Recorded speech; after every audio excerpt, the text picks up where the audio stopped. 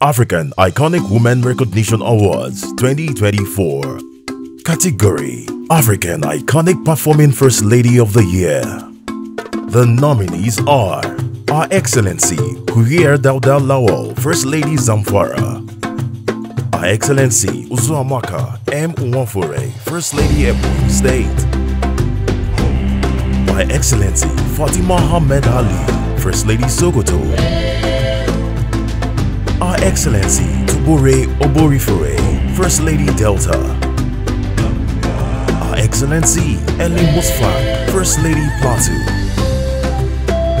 And the winner is Our Excellency Uzoamaka M.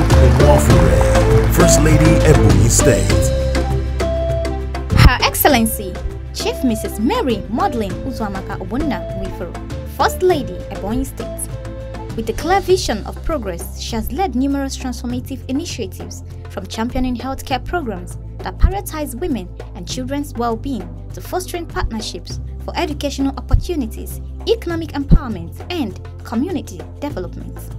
With her guardians, communities flourished through collaborative efforts with emphasis placed on preserving cultural heritage and addressing pressuring social issues such as gender-based violence and human trafficking.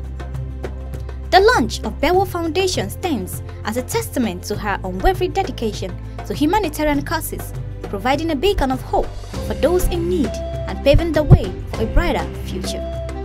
Her legacy serves as an inspiration to all. Introducing the winner, African Iconic Women Recognition Awards, African Iconic Performing First Lady of the Year 2024. Her Excellency Chief Mrs. Mary Maudline Uzoamaka Ogbonna First Lady Ebonyi.